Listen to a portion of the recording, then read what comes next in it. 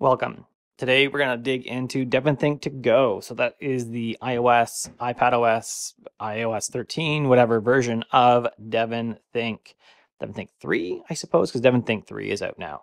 We're specifically going to look at capture only today. I'm going to walk you through kind of every way that you can capture data that I found. I say that I found because there's so much to do. Maybe I missed something. Anyways, that's what we're going to dig into.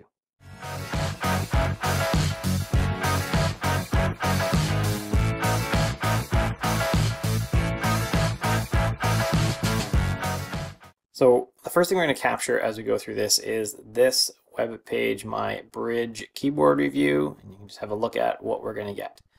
And to capture things in DevonThink, you're going to go to the share sheet, you're going to go to clip to DevonThink.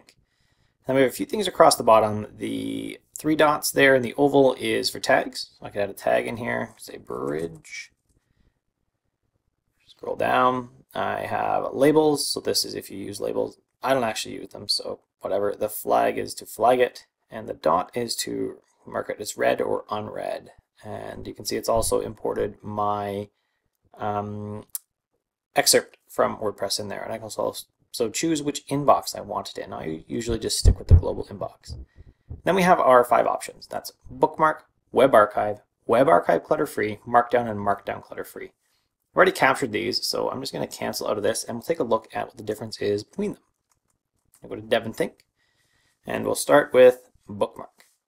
This is kind of what it sounds like. This is a web bookmark. This is just showing me my web page in the DevonThink browser. That's it. Um, it's got the URL in here. It's got you know the tag I put in um, when I did the save the first time. And that's really it, right? It doesn't have any labels, but I could edit them here, right? I could do labels again. I could flag it. I could mark it as read or unread. Then I also could lock it if I wanted but I don't want to, so we'll just leave it as it is. So that's the first one. This is only usable if you're online. Next up is Markdown, clutter-free, and Markdown. So the difference here is with just the plain old Markdown, I've got my navigation at the top, and then if we go down, I've got my footer stuff too. You'll even see the pop-up. That's the HTML for the pop-up that is on the page. Now what Markdown gives me though is literal Markdown. So you can see my bridge 22, right? There's links at the bottom of this page. I'll scroll all the way to the bottom. There's my links. So this gives me Markdown that I can edit. And Markdown clutter-free just applies the clutter-free to it. I've still got all of my links in there. I've got um, the page. You can see that I have a decent font size for reading, which we'll come back to in a second. Now Web Archive. I've got Web Archive clutter-free. That's what this one is. Now notice the font is kind of small, but it did strip out like my navigation all the other stuff that we don't need. So that's good. Um, yeah, font's a little small to read. That's why I actually prefer the Markdown clutter-free. The font is larger, right, between the two of them. And then we have our web archive. This is literally, literally a saved file of my page. Um, you can have view this offline. You can deal with this kind of however you want. It is yours now for good. So that's how we capture from the share sheet in Safari. Now, even with all those options, we do encounter a few pages that are problematic. So let's go to amazon.ca and I've got the art of focus already in there. That was that's a book I wrote. And we'll view the page. So let's grab the page just like I said I normally would. All right, I could tag it if I wanted again. And let's say we're going to grab it as a web archive which in theory should be saving the whole page. I'll go back over to DevonThink and see what we get. That's not the whole page. That's not much at all, really. So what do I do in this case? I'll trash that. And let's go back to this. The first thing I want to do is I want to highlight my title, copy it, and I'm going to go uh, save or create PDF. Now I have a PDF copy of it. And I'm going to share this PDF copy back to DevonThink. I'm going to paste in my title and I am done. I also want to make sure I delete the PDF and then I grab my text here now DEVONthink for macOS will OCR this later, so I don't necessarily have to do this, but I like to have the comment with my full text as well. And so I'll go up to the little information and in the comments, I will paste the searchable, this is now the searchable book description. And then I will also hit copy and copy the URL of the book in there. So now I actually have something that I can search later. I usually put a tag as books to read in as well, and then DEVONthink 3 for Mac OS will actually sort this into the proper binder for me so that I have it for later. Um, but this gives me like a fully searchable PDF I actually would highlight and OCR anything in here. Next up, we have PDF research papers. So I have grabbed this off ResearchGate. You can see the link right near the top there. And it's pretty simple. I'm going to hit the share sheet again. I'm going to clip to DevonThink. I've got, you know, an OK title. And now you have bookmark or PDF. So bookmark is just going to save a link to where the file goes. Capture PDF is going to capture a whole PDF. And that's what I want. So I will capture the PDF. Let's capture the PDF. And then there you go. You can actually see this was my original copy of it before I was doing the recording here. And this is the new copy of it.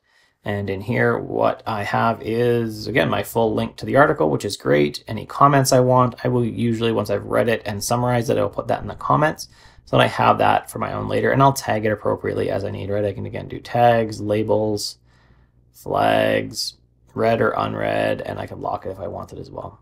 I don't want labels. And yeah, again, this will round trip through Mac OS and give me an OCR PDF later that I can search even in DevonThink to go once the Mac version has done the OCR work. Now let's look at the, some of the stuff in email. I've got a couple things here. I have got a transistor FM receipt and the way I'm going to handle that, uh, you can't, it doesn't work to send it very well to, if I send it open in, open in doesn't really work very well. So I'm going to hit save as PDF and I'm going to save it And then I'm going to clip the PDF to DevonThink. And I'm going to click done. And then I've got it in DevonThink. Right, there's the PDF of it. Perfect. This is searchable now for me. This will get this will OCR later. And usually I would tag it and I would put in receipts. If I can type. Receipts. And this is 2019. And this will actually, once it syncs up with Mac OS, the automation on my Mac OS version will flip this around and file it for me automatically in my receipts. I've already done this because I recorded this twice, so I'm just going to delete this receipt because I don't need two copies of it. The other receipt that I have in here is Scanner Pro. This is my car repair. This is very simple. If I click on the PDF, which I've scanned with Scanner Pro, I open in and click the DevonThink, car repairs, and when I go back, we'll import my file. And there's my lovely PDF of my car repairs. All right, now let's capture this is a podcast of Tim Ferriss and Neil Gaiman. And in Safari, if I hit this little cloud download link, nothing happens. It doesn't really do anything. So here I'm going to click it or touch it and I have downloaded optimal minimal file for me, which I don't really want. And then in iCab, all I have to do is hold, hit download, yes, I want to download that. And then this will now be in files for me. And it is in iCab. Now that I have this file, I can do that. Or I can tap it, I can open it, and I can clip the entire audio file to DevonThink. Now I'm back in DevonThink. Optimal minimal. Right, now let's save a YouTube video. So let's go over to YouTube, but I've already got one here. This is a Linus Tech Tips one. I'm copy my link. And I can do this out of Safari. So I'm going to go into Safari, paste that in. I don't care about the audio right now, so we'll just leave it. And I'm going to go to shortcuts. And so YouTube, if I pay, will let me download it, or I can use shortcuts. So I'm going to use shortcuts. And I go download, download YouTube. It is grabbing it all. It is downloading it for me, and there are links to these shortcuts in the post that goes with this, so you don't need to try and rebuild it. I will share it and I'm going to clip the DEVONthink, and I'm going to give it a title. This is the 2017 ThinkPad versus 197 ThinkPad. And then I'm done. And then if I go over to DEVONthink, there we go. I've got my full video in there and I could put in my URL because I still have my clipboard. And I can do anything else that I want to do with it. Again, in videos that I capture, and I actually wouldn't normally capture this Linus Tech Tip ones, um, I would put it again a time stamped, uh, you know, 21. They talked about men and women, or something like that. Uh, usually I'm finding some research at TED Talk, something like that, and this is how I would save it um, off the YouTube link. Now our final bit is adding things straight from DevonThink to go. And if I go in here, what I have is I hit the plus in the bottom corner. I have text. So to start with, let's just give it a body and a name. And I can put my URL. Again, I can put in my tags, my flags, my labels, anything like that. And hit next. And now I can format my note as rich text, formatted note, markdown, or plain text. Uh, I use markdown uh, because that's what I like. I just like plain text. And the thing about DevonThink and DevonThink to go is that what you put in is what you get out. So if I put in a markdown note, I get a markdown note or plain text note back out, which is excellent. Next up is media. I'm going to delete this. So media, I have you know the basics: new photo, existing photo, photo from clipboard, last photo taken, video note. That's interesting. So if I do video note, you're actually seeing behind my iPad, and now you're seeing me. So this is my actual iPad video. I could hit record. Um, although I'm not sure that's going to do my screencast, so I'm not going to hit record, and I would cancel. And also with voice note, you can do the same thing. Notice in the center, the timer doesn't work right. I don't know why. And so once you finish those out, you just can save it. That's it. Bookmark, mildly deceiving. This is not just a bookmark. Um, yeah. Title or URL, we put anything in there. Uh, URL, let's put this in. So it wants the URL, http curtismchale.ca. Perfect. This is like our share sheet.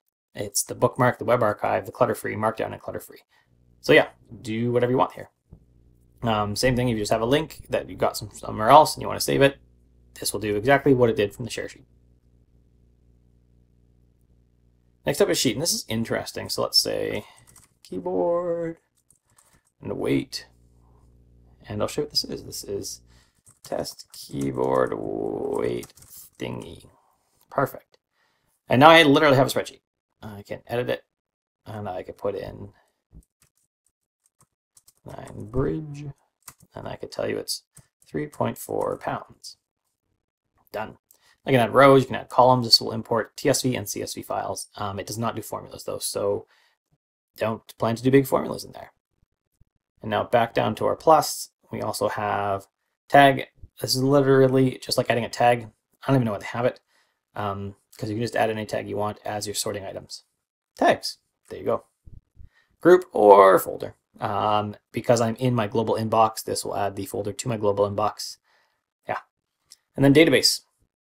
So database, let's go back out of this. I have a few databases here. I have personal, I have receipts and research. They're down in the left bottom corner. Um, if I was to add a new database here, this would be my test database. Done. So now I have a new test database. Um, this is kind of like the overarching storage method for um, DevonThink. Whoa, all those things. I don't need that database. On Mac, you can actually locate these databases wherever you want. So I can put my, my, my receipts database could be on an external drive, but it'll still sync back down to Mac or to iOS, iPad OS, iOS 13 right here. Ta-da, that's what you got. So there is capture on DevonThink to go. If I missed anything, if there's other ways that you can do DevonThink to go specifically, I'm not talking really about the Mac OS version because we're going to cover that next time in another future 3000 word post. If you liked it, hit subscribe below. I guess you can hit the bell, but I never hit the bell because I don't want all the notifications and you should be working. So don't hit the bell. Just hit subscribe, come back because I'm super good looking and cool and I've got nice hats. Almost all of them from Patagonia, actually. Um, you can also support the channel by going to curtismchale.ca slash Patreon. If you want to support the channel, there's a couple different tiers that get you some more stuff, some more videos, and some more interaction with me. I'd love the support to help me out producing good videos on how to be productive for iOS, how to run a good business, and just how to be productive in general. Um, yeah, so without further ado, the next one you might see will be Devin Think 3 Capture. Well, that's an even bigger topic than this. So we'll see. Maybe it'll be a Statamic because I'm going to be building some Statamic sites. So maybe it'll be developing Statamic on iPad. One of them. Thanks for watching. Have an awesome day. Don't fall in.